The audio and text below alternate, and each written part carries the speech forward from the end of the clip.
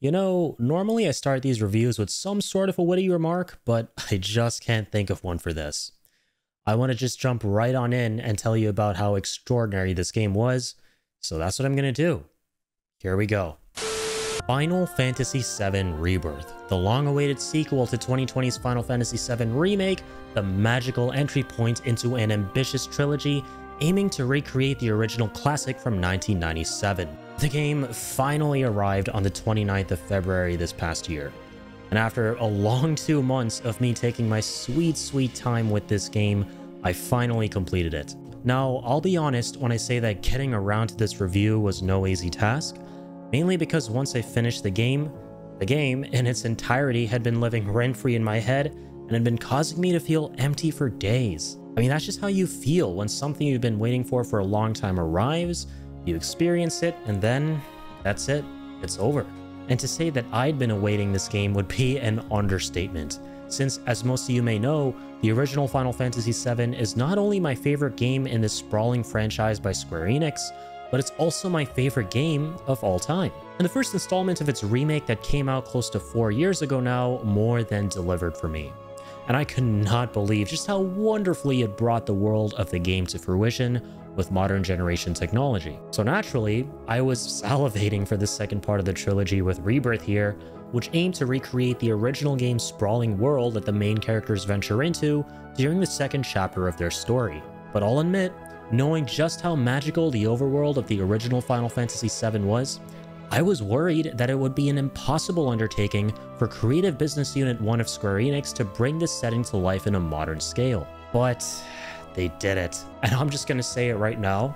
Final Fantasy VII Rebirth ended up being not only better than Final Fantasy VII Remake, but it is the greatest Final Fantasy game in general that I have ever played since the original Final Fantasy VII. Simply put, almost everything about Final Fantasy VII Rebirth elevates the original game, and the characters are the epitome of this. The original game's rich cast is the main reason why I love it so much, and there's no denying that Cloud Strife, his friends, and the journey that they embark on to put an end to Sephiroth's maniacal goals is one that left a strong impression on many, myself included. What I love about the game's characters more than anything though is their complexity, how despite coming from largely traumatic backgrounds, they possess softer sides too, and use their troubled past to band together and become stronger over the course of the game. And the way in which these relationships and the characters themselves evolve is always so satisfying to see. Final Fantasy VII Remake understood this, and that's one of the reasons why it was received so well. But Final Fantasy VII Rebirth elevated this, where the characters and their relationships are not only portrayed how we remembered them from the original, but were also improved upon and thoroughly fleshed out. What I adored about so many of the conversations and interactions between the characters in this game was how they made sense in the context of the original, whilst also surprising me with new dynamics that were never there in the first place but that made sense and added so much more depth nonetheless. Every single moment between Cloud and Tifa specifically, in my opinion, exemplified this best, but every main character in general had their time to shine and never once took the backseat in this story. In fact, the way that this game is structured is such that each major act is character-centric and focuses heavily on that character's backstory and personal arc, whilst expanding on the world building, which is precisely what the second half of the original Final Fantasy VII focused on anyway, as you explore the open world and visit locations pertaining to your party members, all of which have been beautifully recreated here in Rebirth. And from the big character cutscenes to the smaller banter between party members on your travels, all of which encompass a wide spectrum of emotions ranging from seriousness to lightheartedness. You really are able to tell just how much the developers understood what made these characters so special to players in the first place. You're getting in on this too? Solely as a means to study human leisure activities. now, if you'll excuse me. Doggo's just seen it all. He's bored of doing all the doggo things. Sir? But I'm afraid animals are not allowed to participate. Oh, screw you. I'm no mere animal. oh shit, look at that. Red's all up in his face, wants to speak to the manager. You tell him, doggo. I want to speak with your manager. He literally wants to speak with the manager. and it was so hard for me to stop grinning like an idiot throughout it all. for just knowing that fact made me so happy. I legitimately could not believe what I was witnessing and hearing between these characters in the most wonderful way possible. In part due to the nature of their conversations, but also unexpectedly because of how real they sounded, if that makes sense and that's due to how the localization is second to none in this game. Historically, the voice direction and localization of the English versions of games within the Final Fantasy VII franchise have been wildly inconsistent and at most serviceable, but this game was on another level with its English translations, so much so that one could plausibly make the assumption that it was written in that language in the first place. I just knew that when I heard a little girl I faced off against in a card game yell out Gen Z slang, that this game was going to be something special. Sometimes you gotta take the L if you're serious about upping your game. take the L? Kid, you got what it takes to Yo. be a champ. I bet my bottom gill on it. Now why don't you Dude, show the- Lottie the your localization in this game, though? Thank you for playing cards with me, mister. Did she just say take an L? Oh my god, I love it. I can't believe how good the writing is. Rebirth combines so many ingredients that make for an excellent game in the context of its characters. Incredible localization like we were talking about, phenomenal voice performances, a stellar understanding of the characters on the part of the developers, and even a new affinity system that affects Cloud's relationships with his fellow party members based on dialogue options that he can pick. Say, do you remember a guy named Emilio from Nibelheim? Uh, oh, fuck. Okay. Only person from the village I remember is you. Huh? Nice. Oh, Saved it. Rest. This game is all about camaraderie. And the camaraderie between Cloud and his companions, and that not only shows in the dialogue in the story, but also, of course, the combat. Final Fantasy VII Rebirth takes the extraordinarily satisfying combat of Remake, which struck a fine balance between real-time combat and classic turn-based battle inputs, and further iterates on it, mainly through fully fleshing out a system that was introduced in Remake's Intermission DLC, and that's the Synergy system, which allows every character to unleash deadly team-up attacks upon enemies. And in true Remake fashion, every single one of these attacks look absolutely gorgeous and cinematic. Everything else is the same as in Remake. Characters build up ATB through basic attacks, and then use this ATB to cast powerful spells or weapon abilities, many of which are tethered to brand new materia orbs and weapons, some original and some reimagined from the original game. But now, performing these ATB actions allows party members to build up synergy points that can be used to unleash the aforementioned team-up attacks. And with the addition of new characters to the fray, such as Red 13, Cait Sith, and well, kind of sort of Yuffie, considering that she was in Remake's DLC, but worked very differently in that. Final Fantasy VII Rebirth allows players to experiment with so many different compositions, given the vastly different playstyle of each new character, all of whom, by the way, are exceptionally fun to play. Yes, even Cait Sith. I hated how much I enjoyed playing him and couldn't believe how much of a glow up he got since the OG. I loved it. Soldier Moogle class. Uh, raises limit levels, that's good.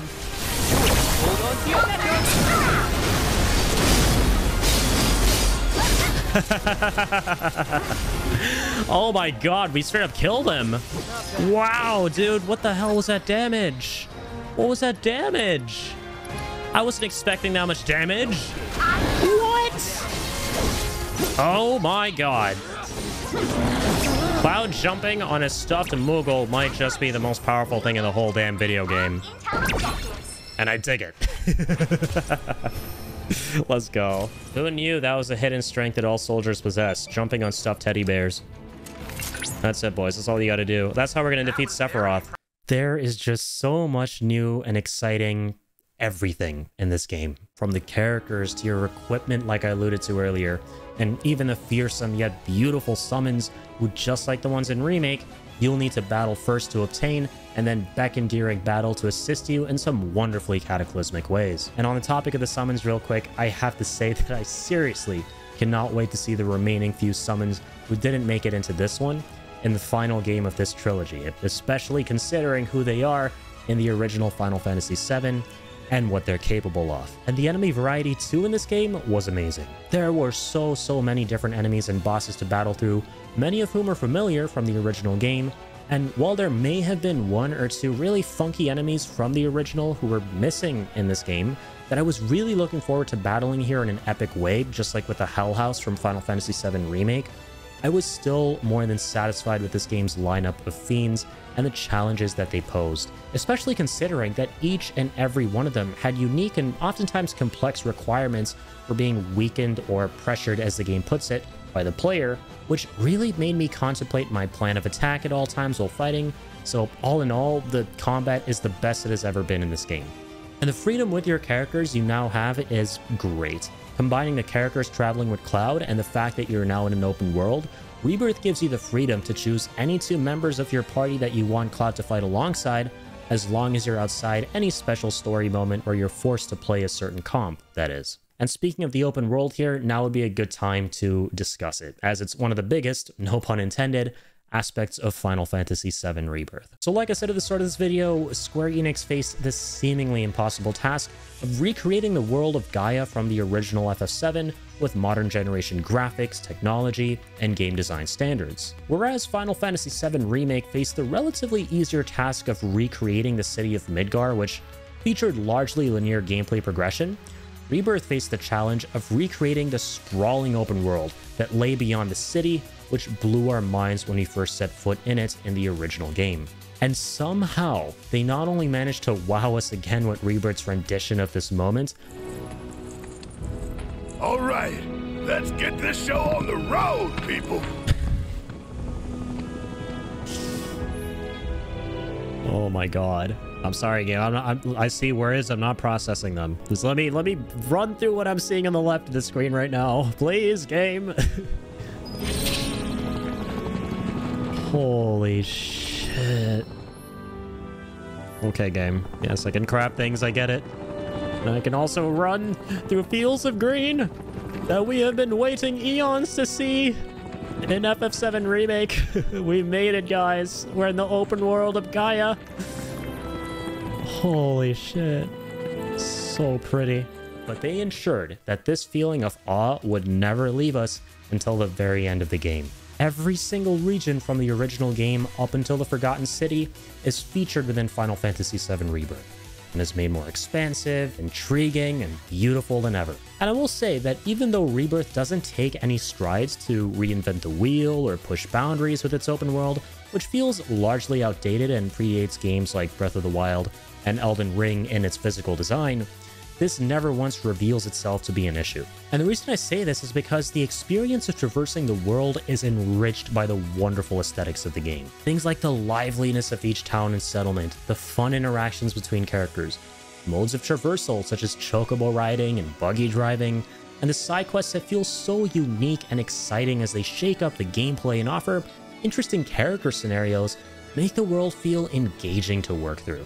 And even though there are some repetitive activities that are the exact same from region to region, just with a different coat of paint, there are still more than enough unique battles, side quests, and even minigames to keep things fresh. The latter of which blew my damn mind. Even though I did mention that Rebirth doesn't reinvent the wheel, and even though it does instead opt to take cues from a myriad of other games in the past, which isn't a bad thing considering that most of these cues are implemented very well here, the one thing that I can nevertheless positively say that I have not seen being implemented to the extent that it was in this game was the minigames. I will need more than two hands to count the sheer number of unique and extraordinarily fun minigames that there were to engage with in this game.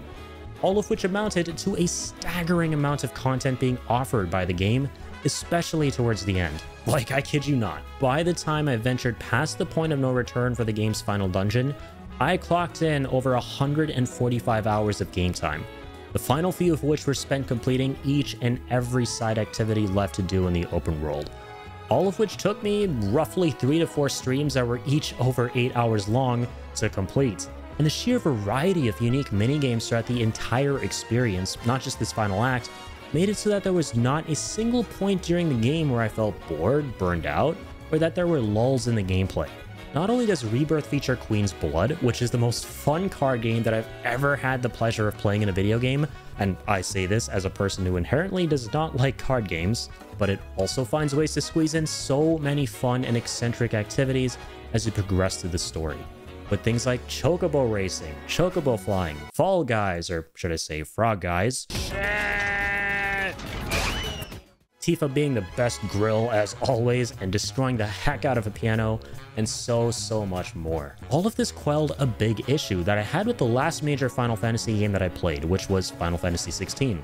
A game that, despite being great overall, had a serious lack of variety when it came to its gameplay content outside of the combat, leading to very quick burnout. And next to that, Final Fantasy XVI just wasn't a very challenging game, in my opinion. But this was another thing that Rebirth fixed. And that said, my personal favorite part of all the activities here in FF7 Rebirth was the degree of challenge they posed, which by extension made the game harder. While none of these optional minigames are inherently difficult to beat the first time in order to get a low tier completion rank and or reward, the beauty of them is that if you so desire a tougher challenge in order to attain a more prestigious rank and or reward, then you'd have access to one and you have to put in significantly more effort, sometimes leading to hours upon hours worth of gaming, which while brutal, would make for some of the most euphoric reactions once you finally beat them. Reactions like this. No! No! No, no, no, no, no, stop, stop, stop, stop. Thank fuck! Let's go! Oh, Jesus Christ. Oh my god, that ending was so fucking scary, dude. Oh my god. Let's fucking do this. Let's go. Nuked. That ending was fucking terrifying, man. Jesus. My heart skipped like 15 beats. And this.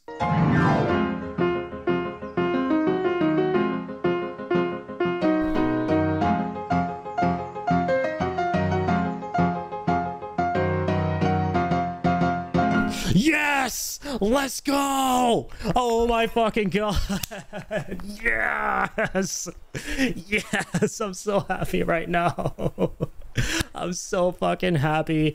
We got the star on Let the Battles Begin, the hardest piece in Final Fantasy VII Rebirth on the fastest speed and on my first attempt up this stream. I practiced so hard for this, but man, it just feels so good. Being able to experience feelings like these are why I adore optional challenges in single player games and why I was also extra appreciative that on top of just the minigames having harder variations to complete, many of the optional combat scenarios pulled no punches either, with most of them being devastatingly difficult, thereby leading to more of these happy face reactions. Oh wait, we got them. yes! Dude, dude, dude, it doesn't matter if Cloud dies now. It doesn't matter, we got him! Yes! Because we beat the Mind Flayer first, that was a challenge. Oh my goodness. We did it, guys. We beat the Mind Flayer. So we can kill these fuckers finally without having to like have nightmares at night. Yes! All right, let's go. Get wrecked. Ah, fucking finally, man. The same could be said for the main scenario battles, which, while not as challenging as some of the optional side content, were always keeping me on my toes due to the game featuring a really cool dynamic difficulty option that ensured all the enemies would scale with me until the very end of the game. All this has me really excited to dive back into the game shortly with New Game Plus, where I won't just be able to replay every chapter on a new hard mode difficulty, but I'll also be able to take on unique side challenges and activities that are exclusive to the replay. God, this game just has so much content, and I seriously could not be more grateful for it all, especially once again, considering how good it all is. And last but certainly not least, the aspect that serves as the most wonderful and flavorful topping on the rest of the aesthetics and gameplay elements that make traversing the world such a joy is... Wait, what's that? What's that sound? What is that? The music. Final Fantasy VII Rebirth has what is, in my opinion, the zenith of any soundtrack I've ever listened to as part of the Final Fantasy franchise. Of course, many of the beloved tracks from the original Final Fantasy VII, composed by the legendary Nobuo Uematsu, have been rearranged so masterfully here, just like in Final Fantasy VII Remake. Oh my god, that little... The music, bro. Oh my god, the music. Yeah, this is called Heart of Anxiety in the original. And this is what plays in Nibelheim. And it sounds freaking incredible. Dear God, this game.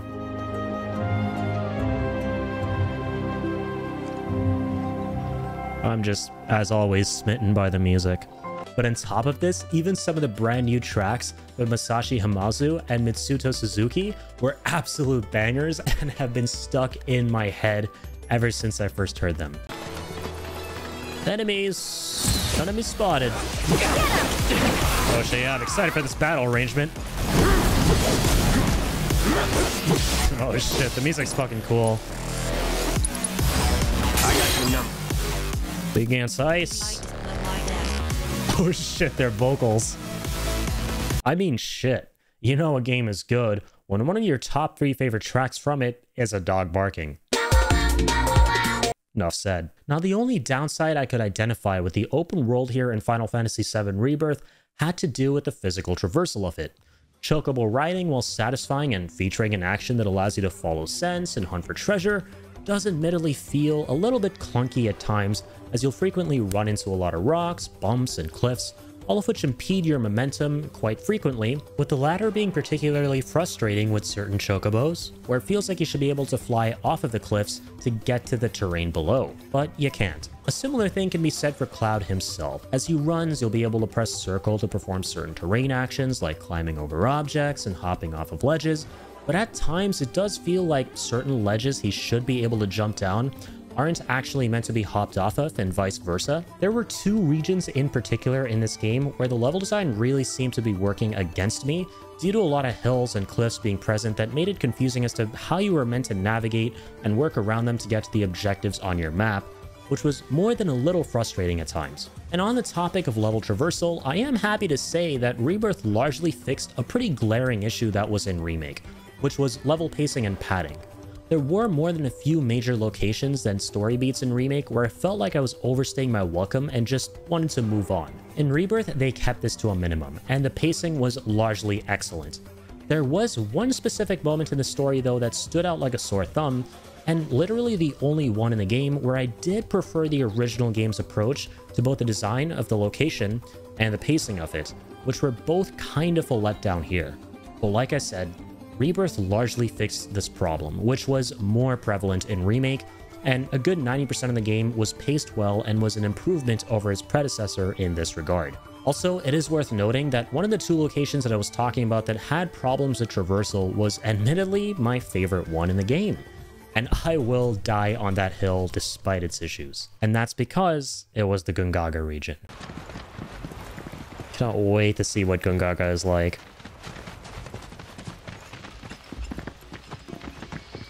Oh my god, new music?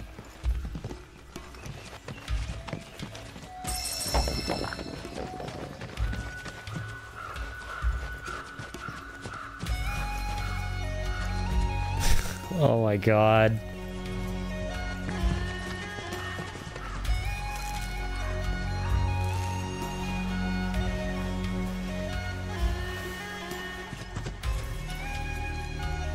I can't believe what I'm hearing. Dude, the ambiance though, holy sh... I, I can't even believe what I'm playing, what I'm hearing, what I'm seeing. This is fucking incredible.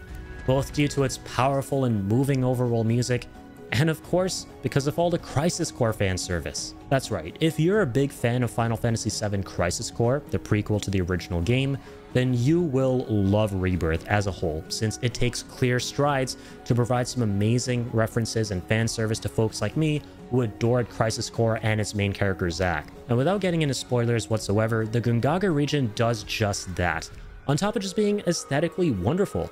And speaking of Zack, Crisis Core, and by extension the rest of the Final Fantasy VII franchise, I think that this is a good time to touch on the story of Final Fantasy VII Rebirth. Just like in the second act of the original game, the premise follows Cloud and his companions leaving the city of Midgar where they went up against the evil Shinra Corp after realizing that Sephiroth is an even greater threat to the planet and must be hunted down in an epic chase that spans the entire globe. Rebirth largely maintains the same core narrative of the original game, whilst elevating and fleshing out so many of the original beats in some truly amazing ways that I could greatly appreciate. Now, of course, the elephant in the room is the new overarching and contentious plotline that was introduced with Final Fantasy VII Remake and wasn't present in the original, and I won't elaborate on what that is for spoiler reasons. But I will say that elements of this new storyline are sprinkled throughout Rebirth and culminate in a mind-bending scenario that leaves you with many questions by the end of the game, just like with Remake. However, whereas Remake left me feeling cautiously optimistic about Rebirth, specifically due to how I wasn't sure about how much of the original game the developers were going to compromise in favor of this new storyline, Rebirth has me feeling exceptionally excited for the currently entitled third and final game of this trilogy, considering how all my concerns going into Rebirth were put to rest once I played the game. Because despite the fact that this new storyline continued to develop itself over the course of Rebirth, every single aspect of the original game that was important to me was retained here nonetheless. The characters, their charm, and all the things they encounter and experience on their incredible journey, it was all here None of it was sacrificed, and in fact, so much of it was improved upon and just made even more special than I could have ever imagined. And ultimately, you guys, that's my greatest commendation for Final Fantasy VII Rebirth. The fact that it surpassed everything I thought a remake of the original game's second act could look like. For years, even before the remake project was officially announced in 2015, I would imagine from time to time what a fully realized 3D interpretation of Final Fantasy VII's overworld could look like, and what a remake could look like within this world. But none of what I'd imagined came close to what Final Fantasy VII Rebirth ended up being. And for that, there's no way that I wouldn't give this game a must-play masterpiece rating as part of my review system around these parts. But here's the thing, right? As usual, the final score that I like to give a game is one that comes from an objective place. If I were to distance myself for a second from my personal feelings and not view this game through the lens of someone whose favorite game of all time is Final Fantasy VII, then this is a game that I would nevertheless redonkulously recommend. The reason why my official score for Final Fantasy VII Rebirth isn't the highest must-play masterpiece one is because in order for a game to get that from me objectively, any and all flaws that it has should be nigh imperceptible. And Rebirth is a game that while absolutely exceptional and presents an experience beyond my wildest dreams, still has a couple of lowlights that you'll definitely feel the weight of as you play. But I have no doubt that going forward, Business Unit 1 is going to continue to further refine and perfect the formula as they've clearly been doing since the beginning of this project, considering the insane ramp in quality and ambition from Remake to Rebirth, with the latter patching up and iterating upon Remake in a myriad of ways. And I say this acknowledging that Remake itself was still a phenomenal game. So yes, I would still strongly encourage you to play through the Remake continuity, and by extension, Final Fantasy VII Rebirth. Get in on this, guys. It's the best Final Fantasy media out there right now, and I hope that Square Enix continues to take notes from this game moving forward, not just for Part 3, but for the franchise as a whole because they have truly peaked here with this game. Everyone involved in the making of the original Final Fantasy VII and these new games as part of the remake series have proven time and time again the amount of love, care, and passion they have for the games and its fans. And I cannot wait to see what they cook with the epic conclusion to this saga once it comes around in 2027, just in time for the 30th anniversary of Final Fantasy VII, maybe? Hopefully? We'll see, we'll see. I, I hope they take all the time they need with the third and final game and that we get to experience something truly remarkable as a result of that. And when it drops, you can be sure that I'll be back as usual for my stream through of the game, as well as my inevitable review of it. I'm not going anywhere. Thank you all so much for watching today's review video, folks. At this point, I may or may not have already started my NG Plus replay of Final Fantasy VII Rebirth, where we're going to be going through the entire game again on hard mode and 100%ing it by getting all of its achievements slash trophies. So if you do want to catch all the episodes of both my first playthrough and this new game plus one of Rebirth, then be sure to check out my second YouTube channel. That's Irritable Archives, linked in the description below. And if you want to catch me playing through the game live, then pop on by twitch.tv slash irritableindian, also linked in the description. Would love to catch you guys there on air. But until the next one, folks, stay happy, stay healthy, stay positive, and as always, keep on keeping on.